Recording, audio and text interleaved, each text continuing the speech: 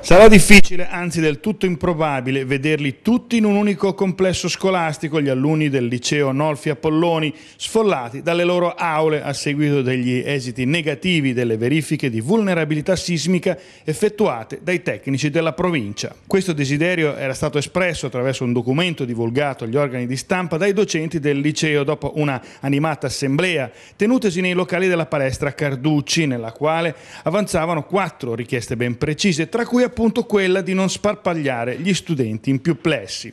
Ma il modello da applicare è quello perseguito dall'alberghiero nella precedente vicenda, quindi si stanno valutando con sopralluoghi e verifiche gli istituti dove ospitare le classi sfollate, in almeno tre se non quattro location diverse. Apolloni, Battisti, Olivetti, papabili istituti destinati ad ospitarli, sicuramente quelli che erano all'ex Carducci, anche se si stanno valutando Gandilio, Nuti e Padalino per avere a disposizione una griglia completa delle opportunità praticabili. Per quelli del Nolfi, circa un terzo, sarà sufficiente però aspettare il 30 settembre per poter rientrare nelle loro classi, come recita l'ordinanza numero 45 messa dal sindaco nella giornata odierna, al termine dei lavori di somma urgenza predisposti dall'ufficio scolastico provinciale. Destino diverso per i loro colleghi invece urbinati, che saranno destinati a seguire le elezioni nei due anni successivi necessarie alla costruzione della nuova scuola Raffaello in appositi prefabbricati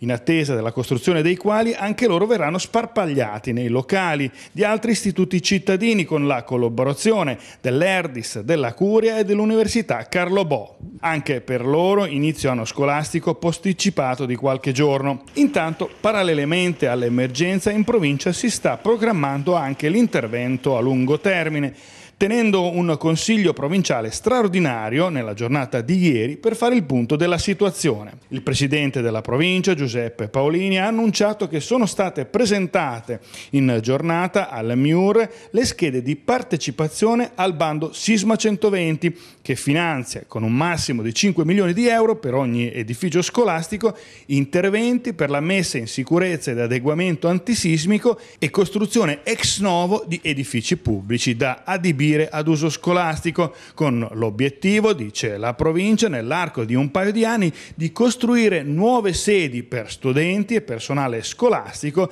del Nolfi ex Carducci e del Raffaello di Urbino. Intanto domani, 12 settembre, nuovo vertice in provincia con le decisioni che verranno prese dopo i sopralluoghi e le verifiche effettuate in queste ore.